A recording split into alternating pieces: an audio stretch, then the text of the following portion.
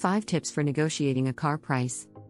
The thought of haggling with a car dealer can be enough to keep some shoppers away from the dealership, but when you take the time to prepare before you buy, you can take the fear and anxiety out of negotiating a car's price.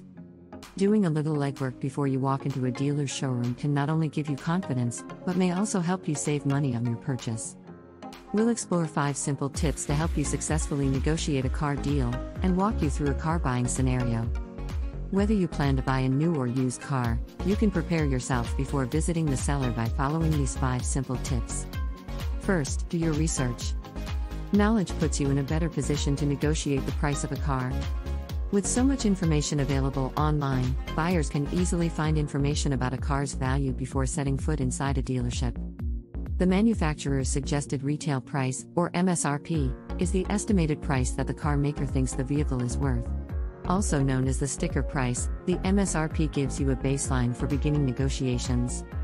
But what you may not know is that few cars actually sell for the MSRP, which provides you with room to negotiate a better price. Instead, your focus should be on the car's fair market value.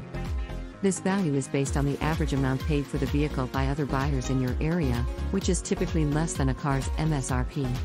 The fair market value may be influenced by other factors such as supply, demand, and optional features. Knowing the vehicle's market value may help you secure a better deal when negotiating a car's price. Second, keep your options open. If you walk into the dealership intent on buying a specific model or trim, your ability to negotiate a better price may be limited. When dealers know you have your heart set on a certain car, they may not feel as compelled to negotiate the price because they know your mind's made up. Instead, Choose a vehicle that best suits your needs and keep your options open so that you hold more power in a negotiation. Third, get pre approved. Getting pre approved for an auto loan before you walk into a dealership or visiting a private seller can be a good idea. Whether you work with your bank or an online lender, getting pre approved can help you stay within your budget when buying a car. Plus, you can shop around for a reasonable interest rate.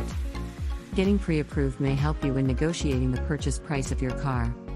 If the salesperson knows you already have a loan lined up, they may be motivated to offer you an in house financing offer with a better rate or terms than your pre approved offer.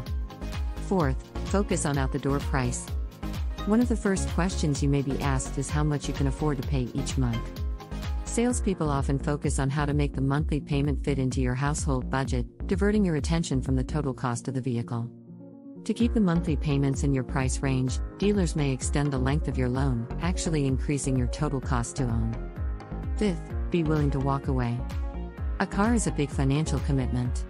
You should feel comfortable with both the vehicle you choose and the price you pay. Salespeople may talk quickly and place a lot of pressure on you to take their deal on the spot. They may claim that the deal is only good for a limited time. As the customer, you always have the upper hand. You can walk away if you don't like what they are offering or if you just want more time to think it through. This may not be easy if you need a car immediately, but it's worth the time to come back another day or visit a different dealer.